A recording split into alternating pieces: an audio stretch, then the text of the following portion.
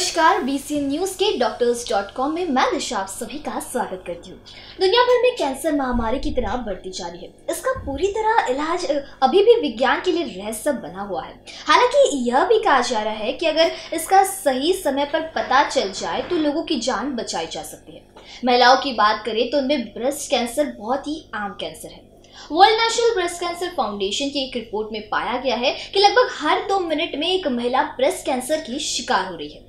पिछले कुछ सालों में तेज़ी से बढ़ी जागरूकता के कारण कई महिलाओं की जान इससे बचाई जा रही है लेकिन अभी भी कुछ ऐसे हिस्से हैं जहाँ इसके बारे में महिलाओं और पुरुषों में जागरूकता नहीं है। और इसीलिए यूजुअली हर साल अक्टूबर का जो महीना है, उसे ब्रेस्ट कैंसर अवेयरनेस मंथ के रूप में देखा जाता है। आज इसी विषय में चर्चा करने के लिए हमारे साथ हमारी स्टूडियो में मौजूद है डॉक्टर अरुंधति मराठी लोटे मैम बहुत बहुत स्वागत है आपका। इन्होंने ब्रेस्ट कैंसर और एंडोक्राइन सर्जरी के क्षेत्र में काम किया है। साथ ही इन्होंने मास्टर्स किया है जनरल सर्जरी में। सीएमसी वेल्लोर और टाटा मेमोरियल हॉस्पिटल मुंबई जैसी इंस्टीट्यूट से इन्होंने पढ़ाई की है। बता दें कि ब्रेस्ट सर्जिकल ऑन्कोलॉजी ये इनकी स्पेशलिटी रही है। वह इनका उद्देश्य है कि हमारी महिलाओं को ब्रेस्ट कैंसर और उसके क्योर के बारे में जानकारी दी जाए। Once again, a very warm welcome to you, ma'am. Uh, I hope that you have kept uh, in your mind uh, whatever goal should be fulfilled by this interview session. Uh, I guess uh, we should not waste out the time and just start out with the session, okay? Sure. Okay. Uh, well, uh, कहीं ना कहीं breast cancer इस बारे में लोगों को पता ही नहीं रहता है मतलब क्या है ब्रेस्ट कैंसर इससे संबंधित मैं चाहती हूँ कि आप हमारे दर्शकों को जानकारी दें तो कैंसर जब हम देखते हैं कोई भी कैंसर तो वो क्या होता है तो हमारे बॉडी में जो नॉर्मल सेल्स होते हैं उसमें से कोई एक सेल अपने आप ग्रो करने लगती है। वो एक के दो सेल होते हैं तीन सेल होते हैं। धीरे धीरे वो ग्रो करके उसका एक ट्यूमर बन जाता है जिसको बॉडी फाइट नहीं कर सकती। इसे कहते हैं कैंसर और जब ये हमारे ब्रेस्ट में होता है इसे कहते हैं ब्रेस्ट कैंसर ओके कहीं ना कहीं जिस तरीके से मैंने अभी मैंशन किया कि आ, जो रिपोर्ट्स आई है उन, उनमें कहा गया है कि हर दो मिनट में किसी ना किसी लेडी को कैंसर हो रहा है। तो मैं आपसे जानना चाहती हूँ कि भारत में ये जो ब्रेस्ट कैंसर है उसका आ, मतलब अभी रेट क्या है किस तरीके से रिपोर्ट किए जाते हैं? तो काफ़ी तेज़ी से बढ़ रहा है। जैसे आपने कहा कि लोगों में जागरूकता बढ़ रही है इस वजह से कैंसर के डायग्नोसिस सामने आ रहे हैं तो केसेस बढ़ रहे हैं। तो अगर आप इंटरनेशनल प्लेटफॉर्म में देखें यूनाइटेड स्टेट्स में तो आठ में से एक महिला को उसके पूरे जीवन में कैंसर होने की संभावना होती है। Okay. यही जब आप इंडिया में देखें तो इंडिया पीछे नहीं है उनतीस में से एक महिला को उसके पूरे जीवन में कैंसर होने की संभावना होती है। और हर दो से चार मिनट एक ब्रेस्ट कैंसर की केस हमारे सामने आती है। Okay okay. कहीं ना कहीं ये जो ब्रेस्ट कैंसर बढ़ रहा है, मैं आपसे जानना चाहती हूँ कि इसके कारण क्या होते हैं, किस वजह से ब्रेस्ट कैंसर होता है और इसको प्रिवेंट करने के लिए हम क्या मेजर्स ले सकते हैं तो जब ब्रेस्ट कैंसर हम कहते हैं या कोई भी कैंसर यूजुअली उसका कारण ऐसे नहीं होता पर रिस्क फैक्टर्स जो हम कहते हैं कि कोई चीज़ें अगर हम अवॉइड करें या कोई चीज़ें हम करें उससे हम कैंसर अपने शरीर से दूर रख सकते हैं। तो ब्रेस्ट कैंसर के केस में रेगुलरली एक्सरसाइज करना तंबाकू का सेवन नहीं करना शराब का सेवन नहीं करना ये सारी चीज़ें हैं जिससे कैंसर हम अपने शरीर से दूर रख सकते हैं। जिस तरीके से आपने कहा कि तंबाकू का सेवन नहीं करना या फिर शराब ये सारी चीज़ें चीज़ों का तो कहीं ना कहीं खान खान से संबंध भी रखता होगा ब्रेस्ट कैंसर मैं आपसे जानना चाहती हूँ कि किस तरीके से ब्रेस्ट कैंसर कोऑर्डिनेट करता है या रिलेट करता है खान पान से हमारे? लाइफस्टाइल है तो लाइफस्टाइल में हमारा सेडेंटरी लाइफस्टाइल जब हम बोलते हैं कि एक्सरसाइज नहीं करना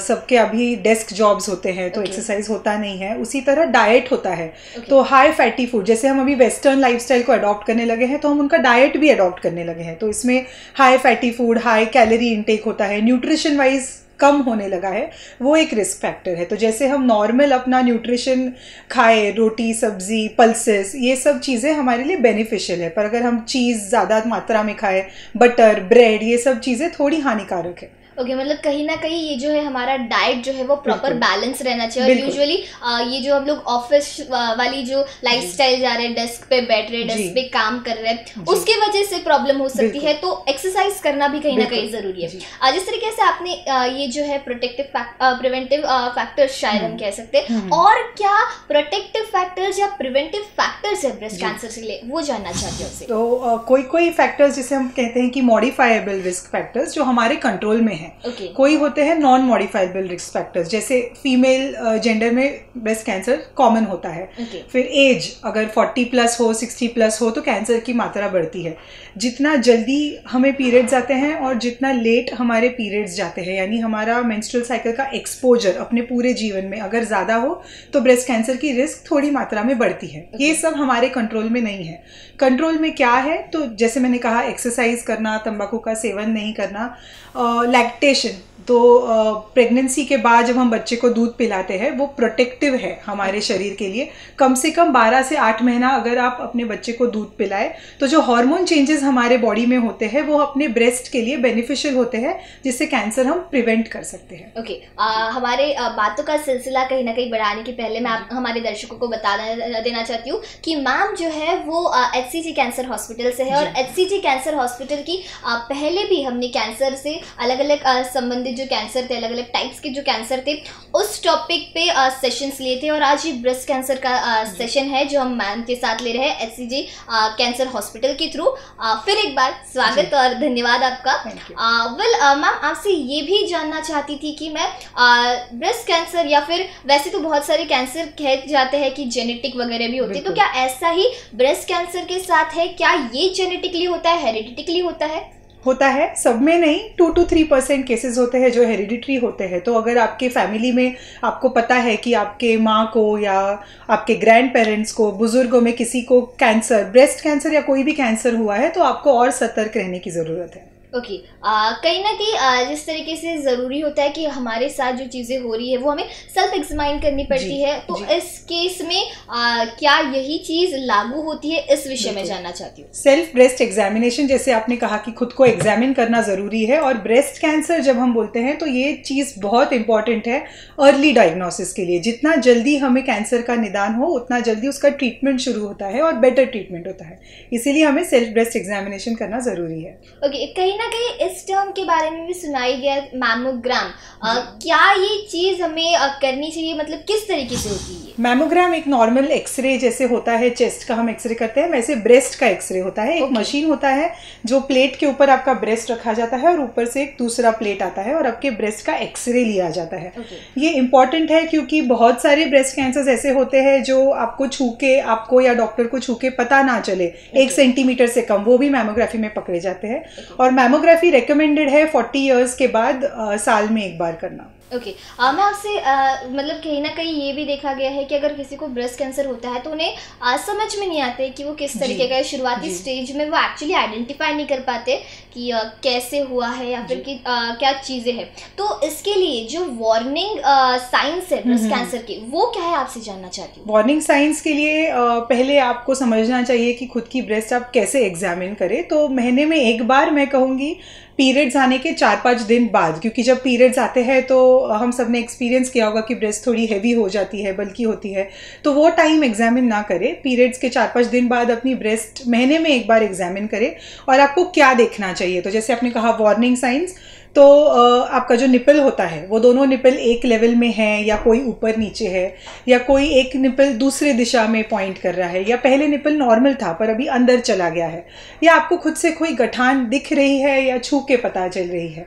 यहाँ मैं एक कहना चाहूँगी कि गठान सिर्फ़ ब्रेस्ट में अगर हो तो उसे ब्रेस्ट कैंसर तो बिल्कुल कहते ही है।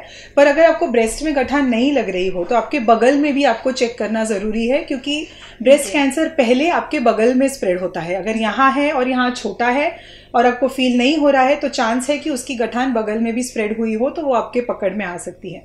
दूसरी चीज़ें है कि आपके स्किन चेंजेस तो. आपकी स्किन लाल होना या जैसे ऑरेंज पील अपियरेंस हम कहते हैं संतरे के छिलके जैसी आपकी स्किन चेंज होती है या उस पर दाने दाने आ जाते हैं ये कुछ वार्निंग साइंस है। निपल में से पानी आना ब्लैक कलर का पानी या खून आना जो पहले नहीं आ रहा था जो एबनॉर्मल है तो ये सब चीज़ें अगर आपको लगे तो आप तुरंत डॉक्टर को संपर्क करिए। आपसे ये भी जानना चाहती हूँ कि क्या जब ब्रेस्ट ब्रेस्ट कैंसर के साइंस वगैरह होते तो क्या ये पेनलेस होते हैं या पेनफुल इस हिसाब से जानना चाहती हूँ। पेनलेस होते हैं। तो आ, इंडिया में मैंने खास तर से ये नोटिस किया है हमारे स्टैटिस्टिक्स भी है कि आ, बहुत सारे महिलाओं को अगर गठान हो पर उसमें कोई दर्द नहीं है कोई तकलीफ़ नहीं है तो वो डॉक्टर के पास नहीं जाते हैं।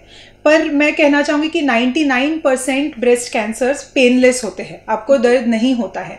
सिर्फ़ वन परसेंट केसेस है जहाँ आपको छाती में गठान हो और आपको दर्द हो। तो इसीलिए अगर पेनलेस है तो मोर टू वरी अबाउट कहीं ना कहीं ये भी देखा गया है कि फीमेल्स में जो है वो ब्रेस्ट कैंसर रहता है सबसे ज़्यादा। बट क्या ऐसा संभव है? मतलब मेल्स में भी इसका प्रमाण है या फिर मेल्स को भी ब्रेस्ट कैंसर के रिस्क वगैरह इस चीज़ के बारे में जी है। ये आपने बहुत अच्छा क्वेश्चन पूछा क्योंकि हम हमेशा जब बोलते हैं ब्रेस्ट कैंसर तो महिलाओं हाँ, को सतर्क रहना चाहिए। बिल्कुल पर मेल्स में भी होता है। One percent of breast cancer are found in males तो okay. Uh, मैं जानती हूँ सब सोचेंगे कि अरे मेल्स में तो ब्रेस्ट होती नहीं है हाँ. तो कैसे? पर ग्लैंड्स uh, होते हैं। Okay. फीमेल्स में it is developed gland develop होते हैं फैट होता है तो you get get the shape of the breast but males में भी ग्लैंड होते हैं जिसमें कैंसर होने की संभावना है और उनमें भी वार्निंग साइंस ऐसे ही होते हैं सेम ओके okay, जो गठान पड़ना या फिर कलर चेंज हो जाना यही सारी चीज़ें। मैं आपसे जानना चाहती हूँ कि किस तरीके से जो स्टेजेस है ब्रेस्ट कैंसर। के वो होते हैं इस बारे में। चार स्टेजेस होते हैं कोई भी कैंसर में चार स्टेजेस होते हैं तो ब्रेस्ट कैंसर में जब हम बोलेंगे स्टेज वन तो कैंसर आपके ब्रेस्ट में होता है। स्टेज टू में कैंसर जैसे मैंने पहले कहा कि बगल में भी स्प्रेड हो सकता है। Stage okay. थ्री जो है जिसमें कैंसर ब्रेस्ट में ही बहुत जगह स्प्रेड होता है। आपकी शायद पूरी ब्रेस्ट इन्वॉल्व हो जाए या स्किन पे दाने दाने आ जाए okay. जिसे हम मेडिकल टर्मिनोलॉजी में लोकली एडवांस्ड ब्रेस्ट कैंसर कहते हैं। It is locally present stage four is a systemic disease यानी ब्रेस्ट के पूरे शरीर में कैंसर स्प्रेड हो जाता है। तो लिवर में जा सकता है हड्डी में जा सकता है आपके लंग्स में जा सकता है ब्रेन में जा सकता है। इसे हम कहते हैं stage four breast cancer okay कहीं ना कहीं ये जो प्रोसेस है मतलब किस तरीके से ब्रेस्ट कैंसर अगर किसी को डिटेक्ट होता है तो किस तरीके से मेडिकेशन दिया जाता है किस तरीके से प्रिस्क्रिप्शन किया जाता है इस बारे में जानना चाहती हूँ। ब्रेस्ट कैंसर की ट्रीटमेंट तीन चीज़ों से होती है। इनफैक्ट अभी चार है। एक तो अपना सर्जरी होता है second is chemotherapy radiation therapy and अभी रिसेंट एडवांसेस में टारगेटेड थेरेपी होता है। तो okay. जब आपको ब्रेस्ट कैंसर डिटेक्ट होता है earlier the detection better the cure हम बोलते हैं। हाँ. इसीलिए आपको अवेयर रहना ज़रूरी है। तो जब आप डॉक्टर के पास जाते हैं और आपको आपका स्टेज ऑफ़ कैंसर पता चलता है आपको एक ट्रीटमेंट प्लान दिया जाता है आपके स्टेज के हिसाब से कि पहले आप कीमोथेरेपी लेंगे या पहले आपका ऑपरेशन होगा और आपको टारगेटेड थेरेपी होगा। कहीं ना कहीं एक और सवाल था मुझे आपसे कि बहुत बार अगर आ, किसी नागपुर की हम अगर स्पेशलाइज बात कर ले तो नागपुर में अगर किसी लेडी को ब्रेस्ट कैंसर होता है तो उनका डायरेक्ट ये कहना रहता है कि नागपुर में तो इसका ट्रीटमेंट पॉसिबल है नहीं। हमें बाहर ही जाना पड़ेगा। तो आप एच कैंसर हॉस्पिटल से है। मैं आपसे जानना चाहती हूँ कि किस तरीके से एच कैंसर हॉस्पिटल में ब्रेस्ट कैंसर की जो ट्रीटमेंट है वो कराई जाती है? ट्रीटमेंट है आपको नागपुर के बाहर जाने की बिल्कुल ज़रूरत नहीं है। एचसीजी में सर्जरीज है एडवांसेस है सब सर्जरीज में आपको पूरी ब्रेस्ट निकालने की भी ज़रूरत नहीं है अगर आप अर्ली स्टेज में आते हैं। एंड कीमोथेरेपी रेडिएशन सब रिसेंट एडवांसेस की नज़र रखते हुए होता है। मतलब कहीं ना कहीं अगर नागपुर में अपने शहर में अगर किसी को ऐसा हो रहा है तो यूजुअली जो लोगों लोगों को लगता है कि यहाँ पे ट्रीटमेंट पॉसिबल नहीं है हमें बाहर ही जाना पड़ेगा मुंबई वगैरह तो ही ट्रीटमेंट होगा। बट एच ये सारी जितनी भी टेक्निक्स है जो बाहर अवेलेबल है वो हमारे नागपुर शहर में अवेलेबल कराती है जिससे जितने भी पेशेंट्स है उन्हें आसानी हो जाए कहीं ना कहीं कहीं ना कहीं ये भी कहा जाता है कि मतलब ब्रेस्ट कैंसर में आ, जो डायग्नोस्टिक वगैरह होता है उसके बाद क्या ज़रूरी होता है कि ब्रेस्ट को हमें रिमूव करना चाहिए इस बारे में जानना चाहती हूँ। सर्जरी ज़रूरी है तो there is no way out to surgery अभी हम कौन सी सर्जरी करें वो आपके ब्रेस्ट के कैंसर uh, के स्टेज पे डिपेंड होता है। okay. पर इतने हमारे रिसेंट एडवांसेस आए हैं कि अभी आपको पूरी ब्रेस्ट निकालने की बिल्कुल भी ज़रूरत नहीं है।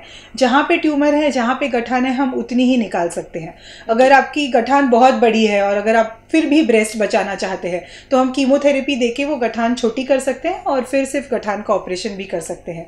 पर एक चीज़ मैं कहना चाहूँगी कि जब आप ब्रेस्ट पूरी नहीं निकालते और सिर्फ़ गठान का ऑपरेशन करते हैं आपको रेडिएशन लेना कंपलसरी हो जाता है। Okay. रेडिएशन में भी पहले के ज़माने में एक एक महीना रेडिएशन चलता था। अभी उसमें भी का, सारे काफ़ी प्रोटोकॉल्स आए हैं जहाँ एक या दो हफ़्ते में रेडिएशन ख़त्म हो जाता है। uh... कहीं ना कहीं बहुत महिलाओं को ये डर लगता है कि अगर ब्रेस्ट कैंसर एक बार हो गया तो उसके बाद डायरेक्ट उनकी डेथ ही हो जाएगी। मतलब उनको लगता है ये क्यूरेबल चीज़ है ही नहीं। मतलब आ, लोगों में अगर कैंसर का डिटेक्शन हो गया तो वो वहीं पे उम्मीद छोड़ देते कि इसके बाद कुछ होने से रहा। मैं आपसे जानना चाहती हूँ कि क्या ब्रेस्ट कैंसर क्यूरेबल है? जी। बिल्कुल है। इनफैक्ट उम्मीद ना हारी है क्योंकि ब्रेस्ट कैंसर सारे कैंसर में से ब्रेस्ट कैंसर एक ऐसा डिज़ीज़ है जिसका क्योर है। और अब अगर stage one stage two stage three में आए तो डेफिनेटली क्योर है। स्टेज फोर में हम कैंसर कंट्रोल कर सकते हैं। आपका जो स्टैंडर्ड ऑफ़ लिविंग है, जो लाइफ है, जो आपका लाइफ आगे होगा, वो इम्प्रूव कर सकते हैं कीमोथेरेपी के माध्यम से। इसीलिए हम अवेयरनेस प्रोग्राम्स करते हैं कि जितना जल्दी आपको कैंसर के बारे में पता चले, जितना जल्दी जल्दी आप ट्रीटमेंट चालू करें उतना आपका क्योर रेट बढ़ता है। कहीं ना कहीं ये भी चीज़ है कि क्लोथ्स हमारे जिस तरीके के रहते हैं यूजुअली जो इनरवेयर्स हम्म, रहते हैं हम्म। वो जो फीमेल्स के या फिर मेल्स के भी हम कह लेते हैं वो अच्छे होने चाहिए। तो किस तरीके से क्लोथ्स और ब्रेस्ट कैंसर का रिलेशन है उसके बारे में जानना चाहती ये एक मिथ है सोसाइटी में कि अगर आप बहुत टाइट इनरवेयर पहने या आप इनरवेयर पहने तो उसका उससे आपको कैंसर हो सकता है। In fact it is beneficial okay cancer के माध्यम से मैं नहीं कहूँगी पर अगर आप प्रॉपर फिटिंग का इनर वेयर पहने तो आपके ब्रेस्ट को एक सपोर्ट होता है। तो जो आपको बहुत सारे महिलाओं को पेन होता है तो वो उसका एक कारण है आपका ब्रेस्ट का वेट तो okay. आप अगर प्रॉपर इनर वेयर पहने तो आपके ब्रेस्ट को एक सपोर्ट होता है जिससे आपके सिम्टम्स कम होते हैं। ओके okay, मतलब कहीं ना कहीं अगर टाइट इनरवेयर्स प्रॉपर रहे तो इस हिसाब से हमें ही सपोर्ट होगा उस चीज़ के लिए। आ, आ, ये भी चीज़ देखी गई है कि आफ्टर प्रेगनेंसी भी आ, कुछ आ, अगर प्रॉपर चीज़ें नहीं हुई आ, तो उसकी वजह से भी आ, दिक्कत हो सकती है कैंसर हो सकता है ब्रेस्ट कैंसर का जब ब्रेस्ट फीडिंग की बात आती है तब। इसके बारे में आपसे जानना चाहती हूँ। तो प्रेगनेंसी में ये एक अलग टर्मिनोलॉजी है जिसे हम कहते हैं P A B C pregnancy associated breast cancer पर इसका ब्रेस्ट फीडिंग से रिलेशन नहीं है। जैसे मैंने शुरुआत में ये मेंशन किया था कि ब्रेस्ट कैंसर में लैक्टेशन इज़ प्रोटेक्टिव तो जब भी आप प्रेग्नेंट होते हैं आप बच्चे को डिलीवर करते हैं तो उसको स्तनपान करना बहुत ज़रूरी है। 12 से 18 महीना अगर आप रेगुलरली स्तनपान करेंगे तो आपके ऊपर उसका प्रोटेक्टिव इफ़ेक्ट होता है। जो हार्मोन चेंजेस आपके बॉडी में होते हैं वो आपको ब्रेस्ट कैंसर होने से प्रिवेंट करने में हेल्प करते हैं। मतलब कहीं ना कहीं ये मिथ है कि ब्रेस्ट कैंसर के हुआ अगर ब्रेस्ट कैंसर हुआ है तो उसमें लैक्टेशन या फिर ब्रेस्ट फिटिंग फिटिंग जो है वो गलत है पूरी तरह से या फिर उससे दिक्कत हो सकती है। वेल आखिरी सवाल जो है आपसे पूछना चाहूँगी कि जितनी भी महिलाएँ दर्शक है या फिर जितने भी दर्शक है हमारे। आ, और अगर उनमें किसी को कैंसर हुआ है या फिर आ, उनको प्रिवेंटिव मेजर्स बताने हैं तो हम्म। आप उनके लिए एक मैसेज क्या देंगी?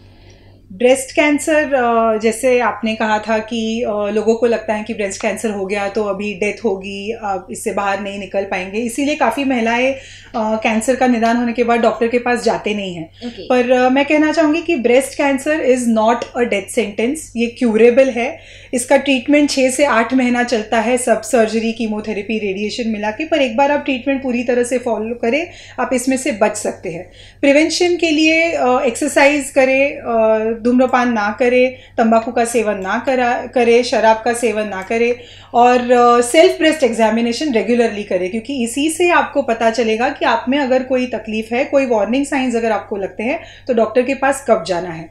और आगे आइए, इसके बारे में बात करिए। जितने ज़्यादा आप बात करेंगे, जितने महिलाओं को आप बताएँगे, उतना इसका अवेयरनेस स्प्रेड होगा, उतना जल्दी कैंसर का डायग्नोसिस होगा। मतलब कहीं ना कहीं ज़रूरी है जागरूकता बढ़ाना यूजुअली क्योंकि महिलाएँ ये जो ब्रेस्ट कैंसर के टॉपिक को लेके है बात नहीं करती है आगे नहीं आती है। अभी भी हमारी सोसाइटी में ब्रेस्ट एक ऐसी चीज़ है जिसके बारे में कोई बात करने के लिए देखता नहीं और अगर उससे जुड़ी समस्या हो तो वो और ही शर्मा जाती है या फिर बताना पसंद नहीं करती। बट ये ज़रूरी है कि इस चीज़ को लेके जागरूकता बढ़ाई जाए। अगर कोई सिम्टम्स आपको दिखते हैं तो जितने भी हॉस्पिटल्स है या फिर जितने भी डॉक्टर्स हैं उनसे एक बार कंसल्टेशन करा दिया जाए और वो यूजुअली सही जो राय होती है वही देते हैं। तो ये सारी चीज़ें ज़रूरी है और जिस तरीके से अभी जो अक्टूबर का महीना चल रहा है ब्रेस्ट कैंसर अवेयरनेस मंथ के रूप में देखा जाता है इसी के माध्यम से एस के माध्यम से आज हम जितने भी ब्रेस्ट कैंसर से जुड़ी चीज़ें हैं उनका हमने उनके बारे में हमने जाना